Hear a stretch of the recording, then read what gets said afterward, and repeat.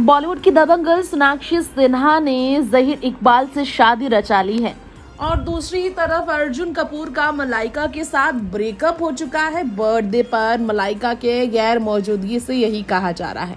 इस बीच सोनाक्षी के साथ अपने एक्स लव लाइफ पर बात जो अर्जुन ने की थी, उस पर हाईलाइट किया जाए तो आपको बताना चाहेंगे, सोनाक्षी के साथ एक बार सीरियस रिलेशन में रहे थे अर्जुन।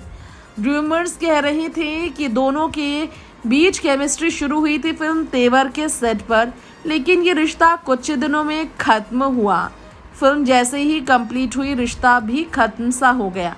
अर्जुन ने भी इस तरह से कहा था। कहा था कि वो और जो एक्ट्रेस सोनाक्षी हैं दोनों के रिश्ते में जान नहीं बची थी, उनका रिश्ता नहीं चला था।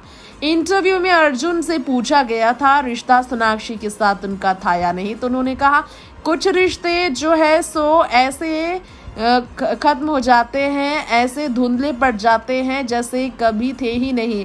प्रोजेक्ट के साथ ही कुछ रिश्ते ख़त्म हो जाते हैं।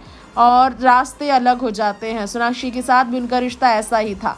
उनके मन में सोनाक्षी के लिए आज भी सम्मान है और उन्होंने क्लैरिफाई भी किया कि वो हमेशा सोनाक्षी की तरह ये एफर्ट लगाते हैं कि एक दूसरे से जब भी वो मिले किस इवेंट में तो एक दूसरे को अच्छे से ट्रीट करे ग्रीट करे और सम्मान दे।